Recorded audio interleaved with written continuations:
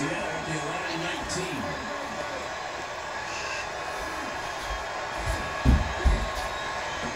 Wilson pressure. And Wilson is decked. Brooks Reed came in with help some others too. Yeah, Brooks Reed going to be right there working against Garry Gilliam. And Odhiambo, the rookie. You see a rookie's pressed in. He's a tackle. He's a. He's been playing well. He just got exposed. He didn't pick up his responsibility. Brooks Reed, Brooks Reed makes sure he brings down Russell Wilson with authority. And so that makes it a second and 17.